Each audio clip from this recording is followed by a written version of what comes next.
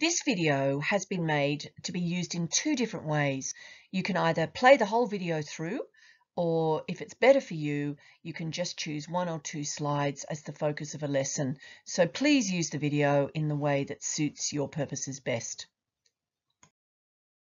What is critiquing? So critiquing is giving your opinion and giving your evidence for that opinion. So you evaluate a text and you share your criteria. Why do you like it? Why do you think this is text is entertaining? Why do you think this writer writes so well or so poorly? So when you're critiquing, the word because appears a lot um, because you're always sharing your reason for liking something or disliking something. So, you know, I really like this story because. I really like this author's writing because. I really like this design and layout because. Or you might say why you dislike something. This is also critiquing. I dislike this argument because the ideas aren't logical and well sequenced, and there's no real evidence. I disliked the first chapter of the novel because I can't visualize the setting and the main characters aren't rounded, they are stereotypes. So when we critique a text, we look first at three aspects of a text to critique it. We, we look at the ideas in the text. If it's a story, we, we try and critique whether we find the plot interesting, do we find the characters engaging, do we find the setting intriguing, and do we find the themes important? If we're looking at a factual text, we are interested in whether the ideas, the main ideas are clear, whether there are significant issues that are being written about, and, and are the impacts of the issues explained clearly.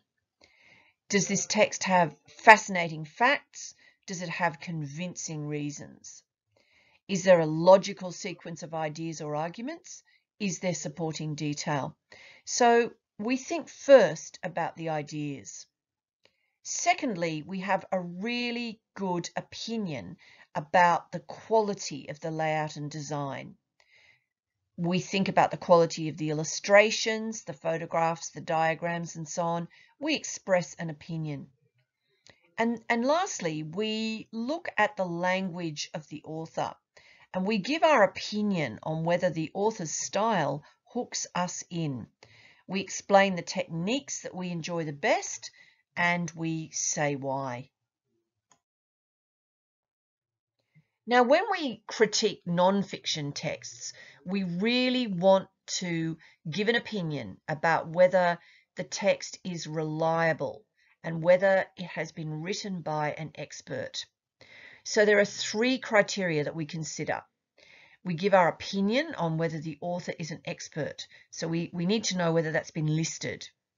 Um, we take a look for references. Does the text list where it got all its information from? All the books and websites that, that the author used, have they been listed?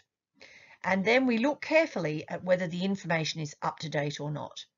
And so if a non-fiction text has all these three things, an expert author, references, and up-to-date information, we can say that it, it's likely to be a reliable information text. It has authority.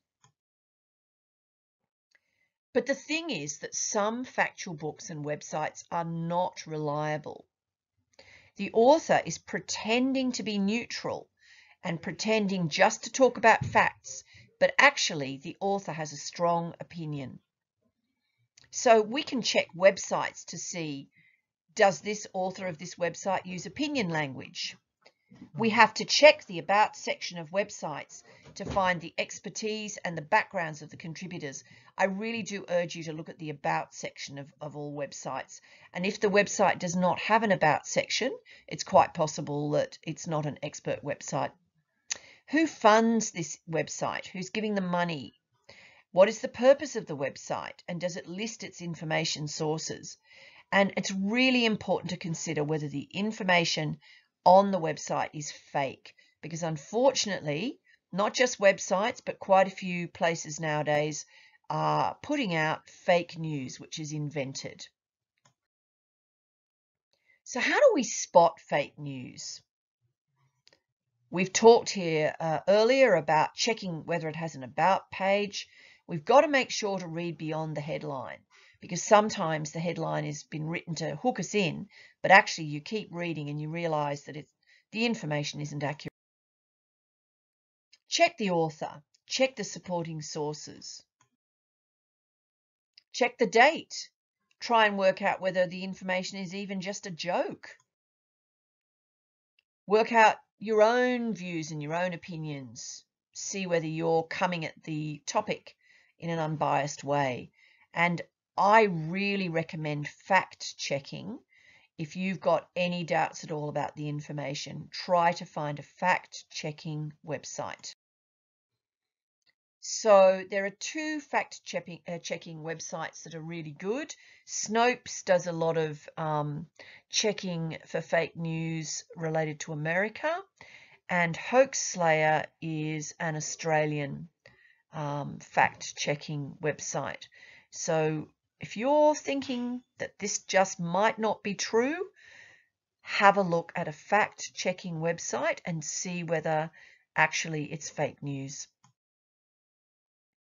Now, when we read a biography of a famous person, we're going to give our opinion about that biography because that's what critiquing is. It's giving our opinion. And so we're going to think about the contribution made by the famous person and the obstacles that they overcame.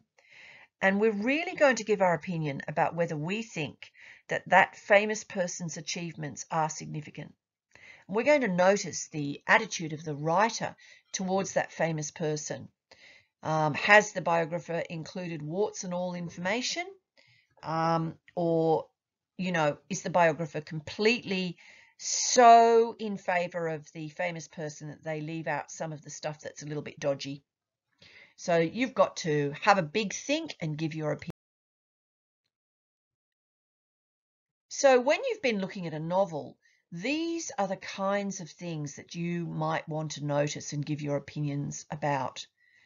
I'll just leave them there for you to consider and come back to later because these are some important things to consider and to give your opinion about after reading a novel. We can also look at the illustrations um, and we can ask ourselves whether they support, add to or contradict the written text. And there's really three aspects of visual literacy that we want to consider when we look at an image. Uh, what's happening in the image, what stands out in the image, and how does it make us feel. There's a really good uh, PowerPoint that I've linked to here that I strongly suggest you might want to look at later because actually um, it's, it's fantastic in terms of explaining visual literacy um, in more detail. So that PowerPoint by uh, Donna Lowe, I, I strongly suggest that you might want to take a little bit of a look at it. So let's look at the first thing. What is happening here? So you can take a look at the W's in the image and you can give your opinion about any stereotypes or symbols that you see, um, any, any characters that are given a large size in, in relation to other characters. And I suggest that you go to this visual literacy site that's listed here and discuss the questions related to example two because they'll really get you into the headset of um, of what's going on with visual literacy and giving your opinion about pictures. The second aspect is to consider how the illustrator has composed the image. What stands out? You know, what what what do you notice first on the page, which is called salience? How is your eye drawn from one point to another across the image, which we call the reading path? And we notice whether there are any frames around the image or whether it's a double page spread. So um, the composition of an image is something we can give our opinion on as well. And another aspect about an image is how it makes us feel. And uh, there are some elements here that are listed, such as social distance, shot angles, color, lighting, and modality. And you can learn a lot from the Donna Lowe PowerPoint so that when you give opinions about images, um, you, you can give your reasons for why um, you feel that way. Now, there are some really good critique tools that we all know about so that we can give our opinion. So I think opinion speeches are really fantastic. Um, it's just very important whenever you state your opinion, of course, to provide reasons and to include evidence for your opinion. So critique tool number two here is um, the book talk or the book review, the film review. And this is when you can give an opinion about something you've just read or viewed. Um, feel really comfortable to dislike it as well, but always when you're critiquing, you give your reasons for your opinion. Critique tool number three is red light, yellow light. And this is when you're reading a text that is supposedly factual. Um, and you're, if you come across something and you think, you know, I seriously doubt that, you call it a red light. And if you cross, uh, come across something that is not quite so um, sketchy, um, you call it a yellow light. So make a note of them and you can cross-check that information because you're just thinking that the author may not be entirely um, objective. Circle of viewpoints is another critique tool that's fantastic um, and it gets you to think in the actual viewpoint of a particular stakeholder um, and then you know people actually people share the circle of viewpoints so that you actually get to understand um, how something is for, for people coming from different perspectives. It's a really good tool.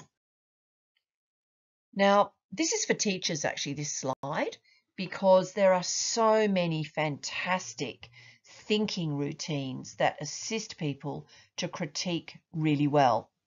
And um, I would strongly suggest any teachers viewing this to explore these thinking tools because they really assist with critiquing.